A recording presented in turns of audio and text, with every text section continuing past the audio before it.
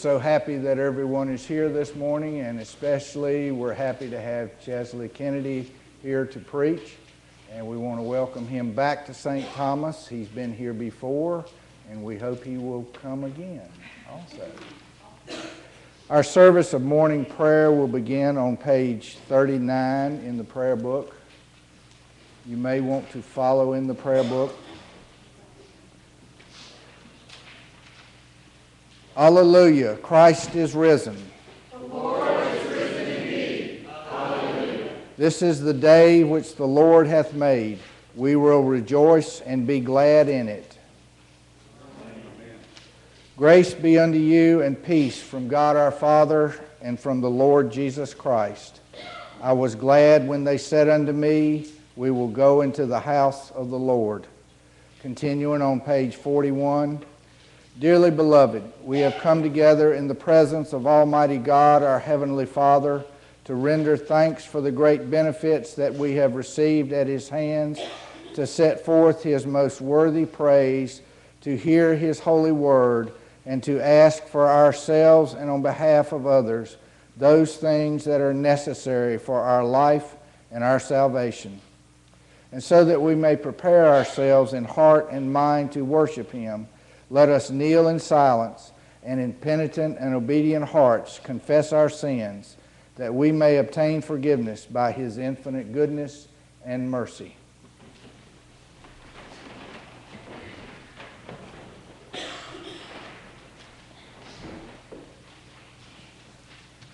Almighty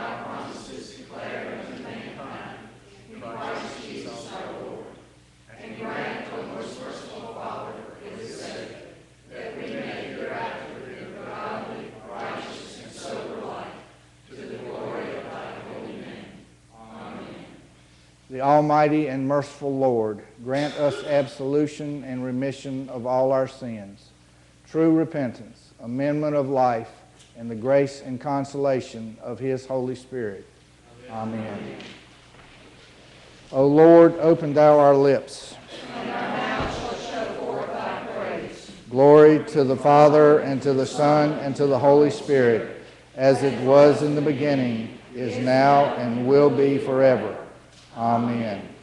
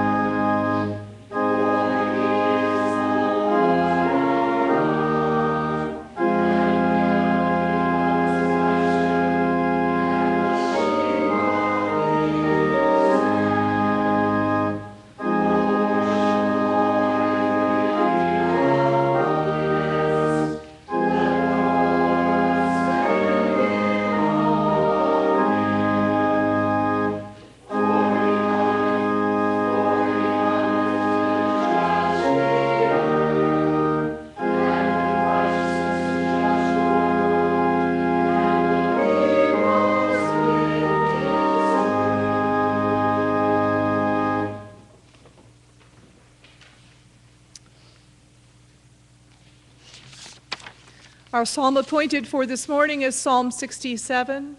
You'll find it in the insert to your bulletin or on page 675 in the Book of Common Prayer. We will read the psalm responsively by the half verse. May God be merciful to us and bless us. Show us the light of his countenance and come to us. Let your ways be known upon earth. Your saving health among all nations. Let the peoples praise you, O God.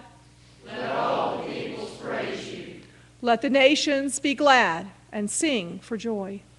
For you judge the peoples with equity and guide all the nations upon earth. Let the peoples praise you, O God. Let all the peoples praise you. The earth has brought forth her increase. May God, give us his blessing. May God give us his blessing. And may all the ends of the earth stand in awe of him. Glory to the Father, and the Son, and to the Holy Spirit. As it was in the beginning, is now, and will be forever. Amen.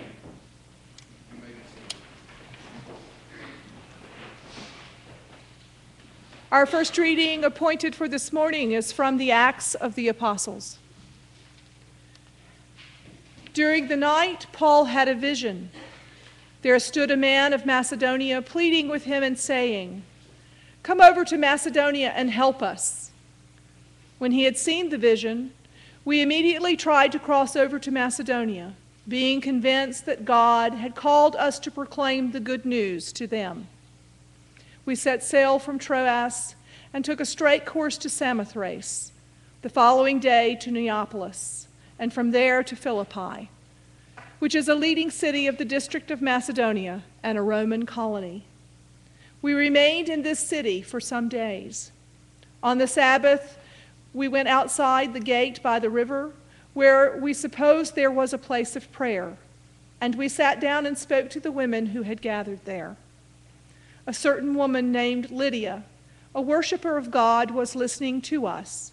She was from the city of Thyatira and a dealer in purple cloth. The Lord opened her heart to listen eagerly to what was said by Paul.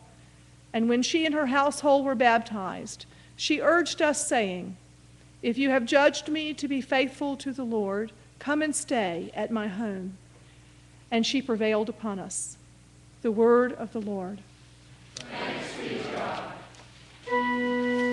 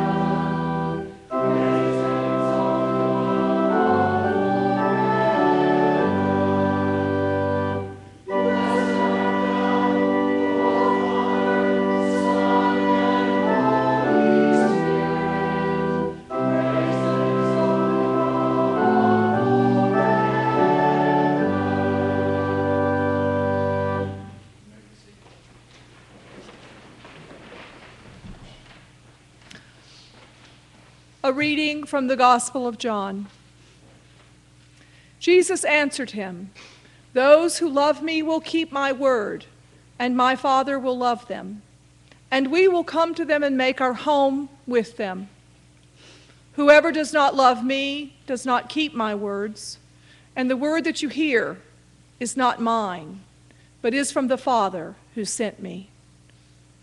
I have said these things to you while I am still with you, but the advocate, the Holy Spirit, whom the Father will send in my name, will teach you everything and remind you of all that I have said to you. Peace I leave with you, my peace I give to you. I do not give to you as the world gives. Do not let your hearts be troubled, and do not let them be afraid. You heard me say to you, I am going away, and I am coming to you. If you loved me, you would rejoice that I am going to the Father, because the Father is greater than I. And now I have told you this before it occurs, so that when it does occur, you may believe. The word of the Lord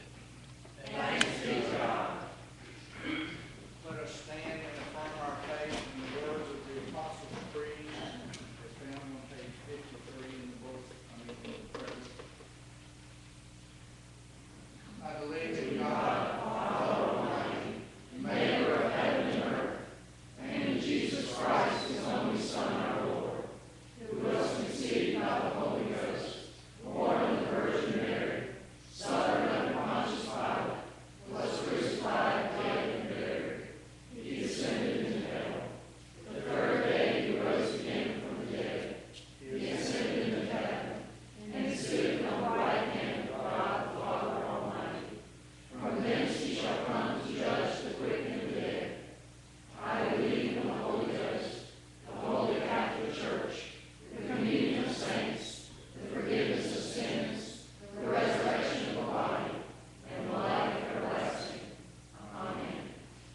The Lord be with you.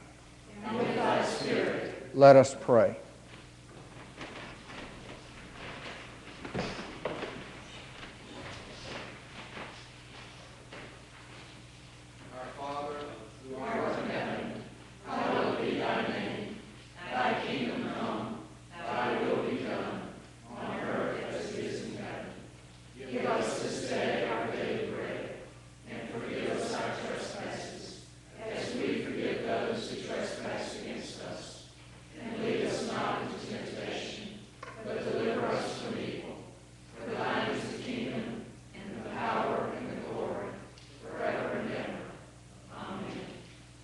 Suffrages be. O Lord, save thy people and bless thine heritage. Govern them and lift them up forever. Day by day we magnify thee. And we worship thy name ever, world without end. Vouchsafe, O Lord, to keep us this day without sin.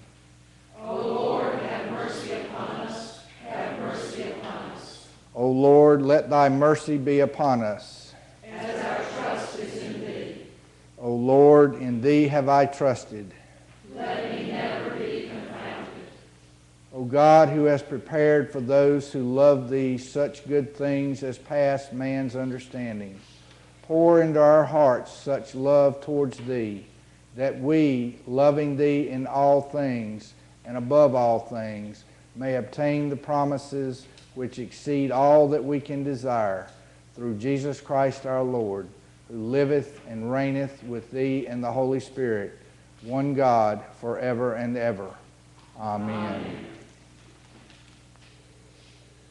O God, who makest us glad with the weekly remembrance of the glorious resurrection of thy Son, our Lord, grant us this day such blessings through our worship of thee, that the days to come may be spent in thy favor, through the same Jesus Christ our Lord. Amen. Amen. O God, who art the author of peace and lover of concord, in knowledge of whom standeth our eternal life, whose service is perfect freedom, defend us, thy humble servants, in all assaults of our enemies, that we, surely trusting in thy defense, may not fear the power of any adversaries, through the might of Jesus Christ our Lord. Amen. Amen. O Lord, our Heavenly Father, Almighty and everlasting God, who has safely brought us to the beginning of this day, defend us in the same with thy mighty power, and grant that this day we fall into no sin, neither run into any kind of danger, but that we, being ordered by thy governance, may do always what is righteous in thy sight. Through Jesus Christ our Lord. Amen. O Heavenly Father, in whom we live and move and have our being, we humbly pray thee so to guide and govern us by thy Holy Spirit, that in all the cares and occupations of our life we may not forget thee, but may remember that we are ever walking in thy sight. Through Jesus Christ our Lord. Amen. Amen. Lord Jesus Christ, who didst stretch out thine arms of love on the hard wood of the cross, that everyone might come within the reach of thy saving embrace, so clothe us in the Spirit that we, reaching forth our hands in love, may bring those who do not know thee to the knowledge and love of thee for the honor of thy name. Amen. The general thanksgiving on page 58. Almighty God, Father of all mercies, we and worthy servants speak thee with humble and hearty thanks for all thy goodness and loving kindness to us and to all men. We bless thee for our creation, preservation, and all the blessings of this life, but above all for thy inestimable love in the redemption of the world by our Lord Jesus Christ, for the means of grace and for the hope of glory. And we beseech thee, because of the sins of all thy mercies, that our hearts may be unfeignedly thankful, and that we show forth thy praise, not only with our lips, but in our lives, by giving up ourselves to thy service, and by walking before thee in holiness and righteousness all our days. Through Jesus Christ our Lord, to whom with thee and the Holy Ghost be all honor and glory, world without end. Amen. Almighty God, who has given us grace at this time with one accord to make our common supplication unto thee, and hast promised through thy well-beloved Son, that when two or three are gathered together in his name, thou wilt be in the midst of them. Fulfill now, O Lord, the desires and petitions of thy servants, as may be best for us, granting us in this world knowledge of thy truth, and in the world to come life everlasting. Amen. Let us bless the Lord. The grace of our Lord Jesus Christ and the love of God and the fellowship of the Holy Ghost be with us all evermore. Amen. Amen.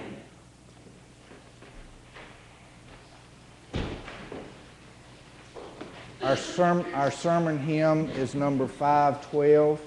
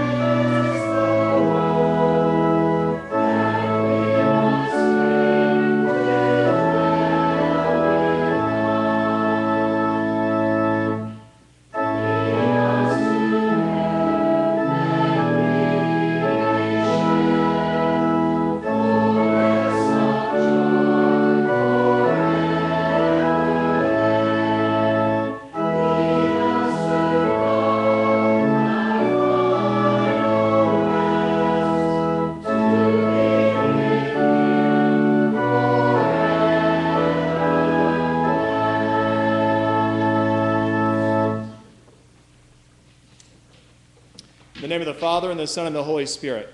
Amen. Amen. It is wonderful to be here with you this morning. It's been a while since I last visited with you. I think it was last May that I was here, but it may have been the previous May now that some students were graduating and I was here with you. This morning I'm wearing the cassock and surplice that you gave me as a gift when I left St. Thomas in 2009 to head to New York City to do study work at the General Theological Seminary. So much has changed since then. I'm wearing glasses, we've broken hips, we've fractured heels. Also, I'm wearing this hood that I achieved at Duke Divinity School for my Master of Divinity degree.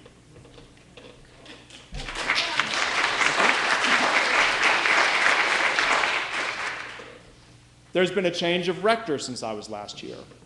When I was an intern beginning the, the, the call to discernment here, Mother Vicki Smith was your priest. And it seems only recently that I was here for the installation of Father Rick as your new priest, but I was told now it's been almost three years in August. I gave my first sermon here at St. Thomas. That was in August. Actually, it was not in August of 2009. I was corrected this morning. It was May 2009, May 9th, 2009.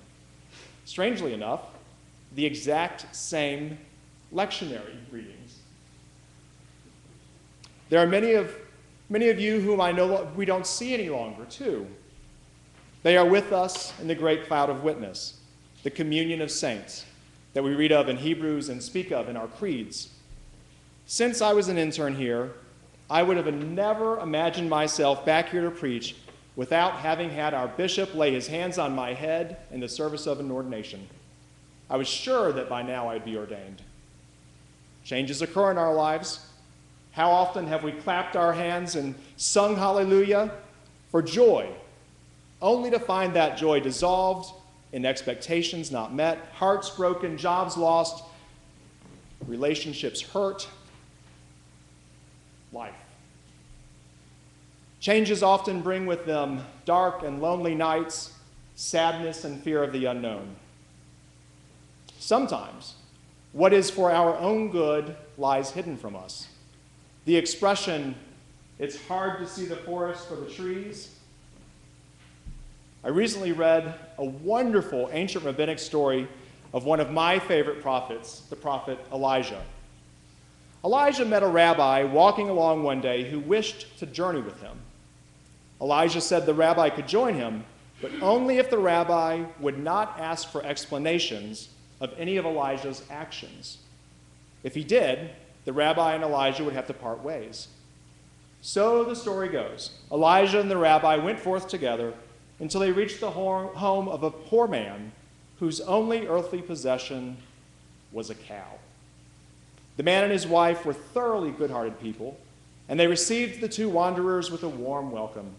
They invited the guests into their homes, a home, set before them food and drink of the very best kind, and made up a comfortable bed for them to rest. When Elijah and the rabbi were ready to continue their journey on the following day, Elijah prayed that the cow belonging to his host would die. And so it did. The single most valuable possession of this good couple was dead. This mis- their misfortune and Elijah's prayer shocked the rabbi, but he remembered his agreement with Elijah not to ask for any explanations. So the next night, they traveled on. They arrived at a very wealthy man's home, who, when summoned to the door, would not even come. He did not even allow them to, he did allow them to stay in his home, but he didn't provide them food or drink or even comfortable beds. On the rich man's property, there was a wall that had tumbled down, and the rich man really wished he could get that wall repaired. So before they left, Elijah prayed that the wall would be rebuilt.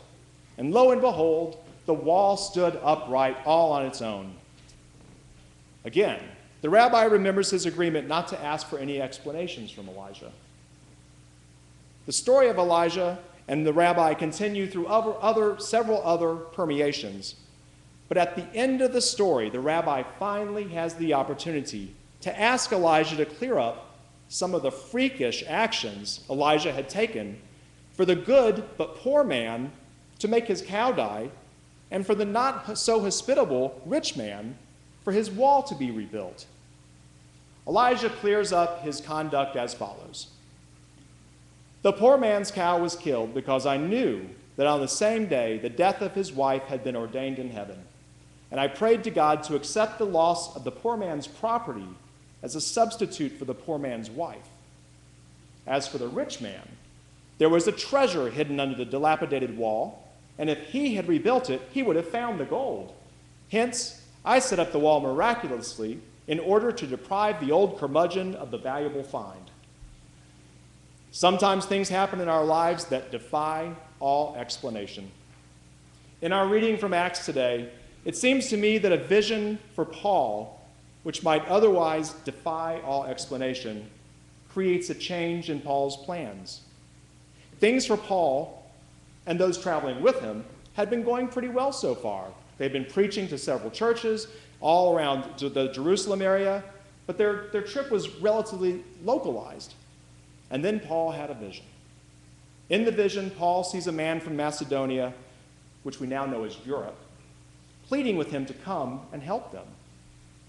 Keep in mind, this isn't a quick plane ride. This is a pretty big commitment for Paul and those traveling with him to leave Asia for Europe. This is a pretty big change for any ministry team, wouldn't you say? Imagine changing the direction of some wonderful ministry at, uh, here at St. Thomas and expecting that change and everybody affected by it to agree. I would say that's pretty hard to imagine. It would be hard to see the forest for the trees. It would seem to defy all explanation. All this change based on a vision. It's not surprising to read about visions in our scripture. But I made the mistake once of joking while speaking to a small group that those of us who had visions or hear voices or we should probably get our heads examined. Immediately after my talk, a line formed person after person, telling me of their own experiences of hearing or seeing or having some mystical experience of a loving and caring God. I think I was a bit embarrassed of my own experience of hearing that still small voice calling for me to fear not. Child, you don't have to be afraid unless you want to be afraid. These were the words of comfort, wisdom, and love from a caring God. In these days, we are often afraid to reveal our vision, our call, as expressed by what we do with our own lives. The call that reveals Jesus Christ in us. In this call, we will always see nothing other than love.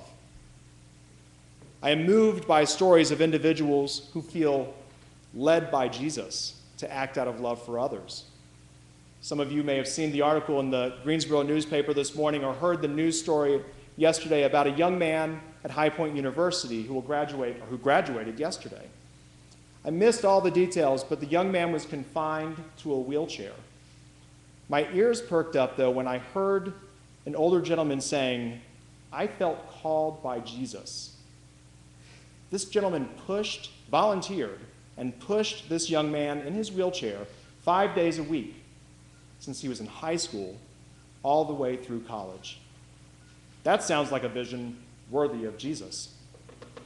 I think of faithful community leaders, such as many of you here, who have worked with the least of these, especially those persons in our community who need food or shelter, or those who are willing to pick someone up from home and bring him, and her, him or her to church. That sounds like a vision worthy of Jesus. The gospel reading appointed for today is the stuff mystics like me love. You can't read this scripture literally, or you lose the point altogether. Several weeks now after our Easter celebration, we find ourselves reading from a discourse that occurs before the crucifixion of Jesus. In the discourse from the Gospel of John, we hear Jesus offering to his disciples an explanation of how he will remain with them after he's gone. In this reading, we hear this same offer to us today. A man named Judas asked Jesus, How will you reveal yourself to us? If you're going away, how can you still be with us? What about all this change? If you take time to read John 14, you will hear again and again Jesus alerting the disciples that they will not face the future alone, that the gifts of God, the gift of God, has been given to them in Jesus and does not terminate with the end of Jesus' life. We are moved to the assurance that with the resurrection we receive the gift of the advocate, the counselor. The Holy Spirit will continue to teach us and to comfort us, even after we do not see Jesus. The scripture doesn't say that life won't include change or difficulty, sadness, or despair. In fact, if anything, it assures us of death. In fact, for the disciples, it assures them of a difficult life and a martyr's death. It also assures us of the presence of the Spirit and indwelling of Jesus Christ and the Father among us as the community of believers. In their deep despair, Jesus' preaching offers his disciples the good news of the love of God and of the abiding presence of God with them, even when the circumstances of their lives might indicate otherwise. Do not let your hearts be troubled or fearful when change comes. We are given the peace of Jesus Christ that remains with us always. In those times that we might label good, and in those times we might want to label bad. Sometimes the good and the bad defy all explanation. Remember the poor man's cow and the rich man's wall? Abide in God's ever present and unchanging love. Now, may God give us his blessing, and may all the ends of the earth stand in awe of him. Amen.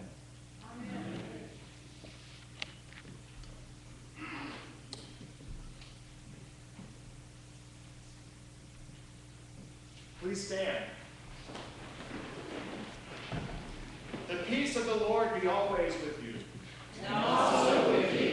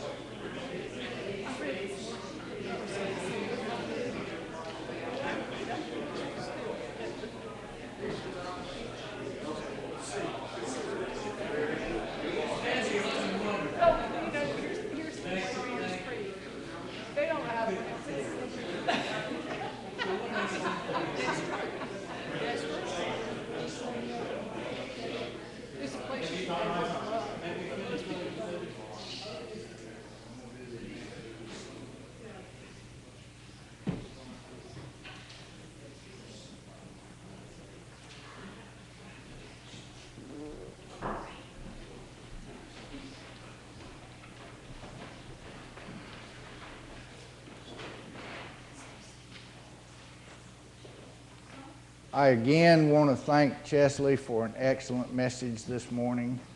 Um, and when I do 8:30 service, I get to hear the sermon twice, and I was glad to be able to hear it twice this morning.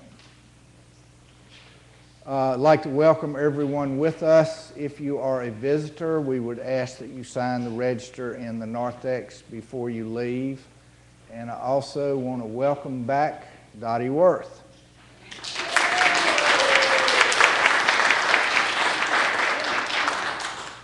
Steve has kept us well informed of your progress along the way, and we're so happy that you're able to be back with us today, especially with the weather like it is.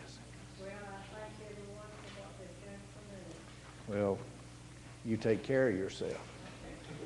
Don't fall. Yeah. Uh, please look at the calendar of events on the back page of the bulletin, uh, the information coming up. And I ask that you especially read the announcement about the consecration of our Bishop Suffragan, uh, the Reverend Anne Elliott Hodges Copple. Uh, she will be consecrated Saturday, June the 15th at 10:30 in Duke Chapel in Durham, and a reception will take place. If you go to the reception, it'll cost you $10. If you would like to go to the consecration service, please let our office know here before May 16th because we have to order the tickets. And the tickets are going to be given out based on the demand from the parishes. So please go ahead and get your information in if you'd like to go. Um, uh, there is, uh, Elizabeth Pugh asked me to announce at 8:30. There is a sign-up sheet up here on the piano for Lemonade on the Lawn. We hope to start that next Sunday, uh, if there's no snow on the ground. Um, please, if you would like to sign up for Lemonade, it'll be on top of the piano. Come get it before you leave and sign for the Sunday you would like, uh, or multiple Sundays would be fine. Are there any other announcements that need to be made? All righty. Mr. Kennedy? Oh. Walk in love as Christ loves us, for such is pleasing to God.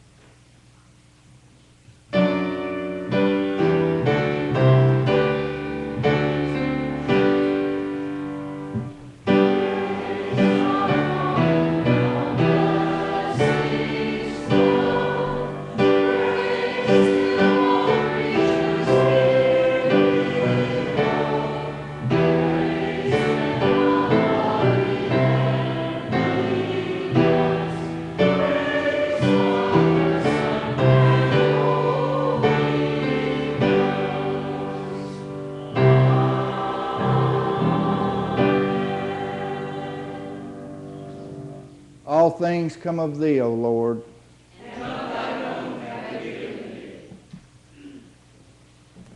The Lord be with you. And also with you. Let us pray.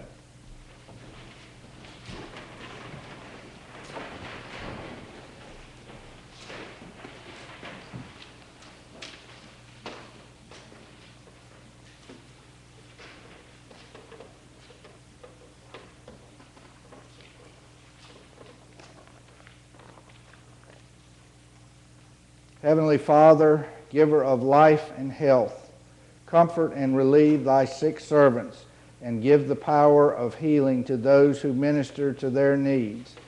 And especially this day, we pray for Plum Trent, Marion Seyfried, Mavis Simon, Janie Vernon, Robbie City, Dud and Pat Apple, Bill Lighties, Pam Harding, Alex Beaton, Beth Smith, Ann Montaigne, Emily Cass, Charles Robertson, Earl Rayfield, Betty Sigmund, Naomi Gullickson, Mary Gullickson, David Buckmaster, Fred Jr., Fred Sr., Amanda G., Billy Agia, Michelle and Daryl Robertson, Todd and Devin Citizen, Ezra Robertson, Vicki Slaughter, Linda, Bob Love, Sylvia Morrell, Emmeline Jenkins, Laura Stone, Reverend John Burton, Otis Hutcherson, Perry Gann, Jim Fawcett, Sybil Gatewood, Stephanie Robertson, Barbara and Ron Davenport, J.C. Parks, Vivian Sykelether, Dottie Worth, Eric Filippi, Dallas and Lynn, Kay Donovan, also Kyle Schneider, and any others who you wish to remember at this time.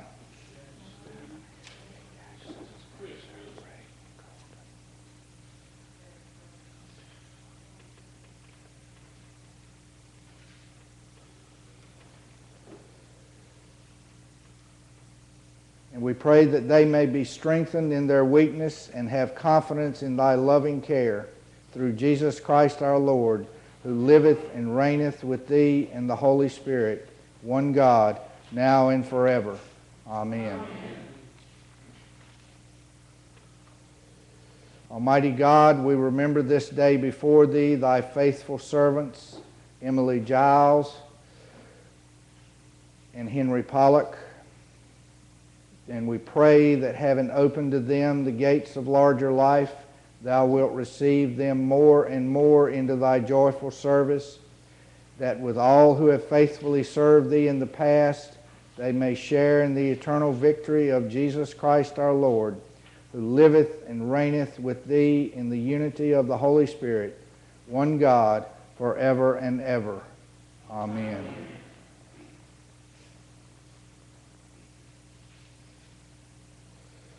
O God, our times are in your hand. Look with favor, we pray, on your servants, Scott Smith and Nancy Marin, as they begin another year of their lives.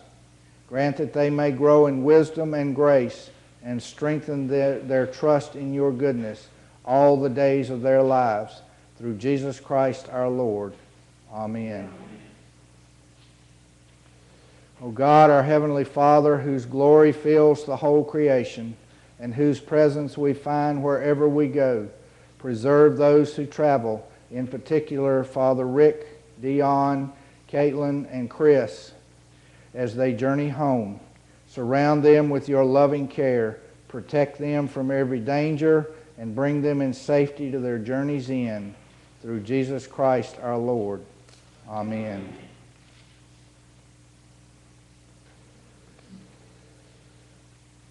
Lord, make us instruments of your peace.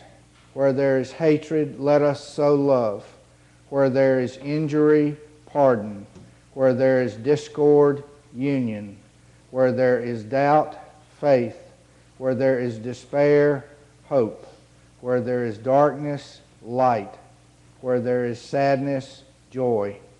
Grant that we may not so much seek to be consoled as to console, to be understood as to understand, to be loved as to love. For it is in giving that we receive, it is in pardoning that we are pardoned, and it is in dying that we are born to eternal life. Amen.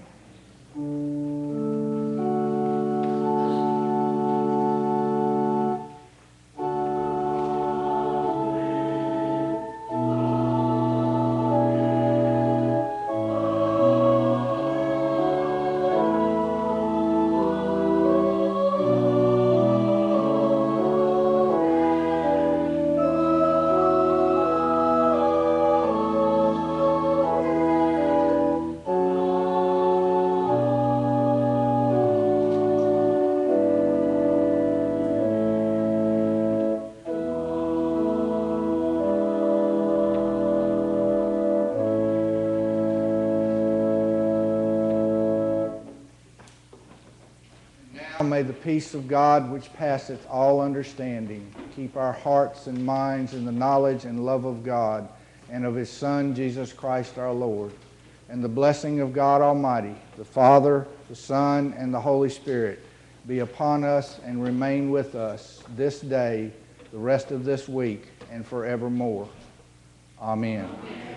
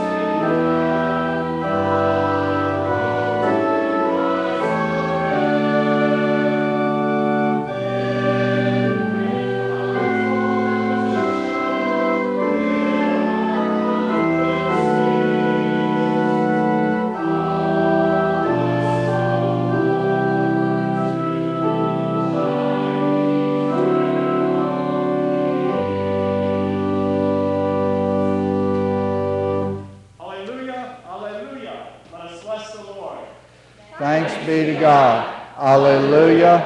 Alleluia.